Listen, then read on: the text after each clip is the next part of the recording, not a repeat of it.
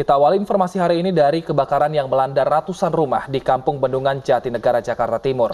Pagi tadi korban kebakaran mendatangi rumah mereka yang telah hangus dilalap api untuk mengumpulkan harta benda yang masih tersisa.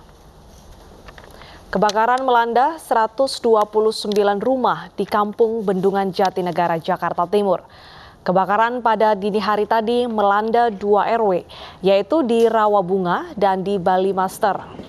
Sejak pagi tadi, pemirsa warga korban kebakaran berupaya mengumpulkan harta benda mereka yang masih bisa diselamatkan dari puing-puing sisa kebakaran.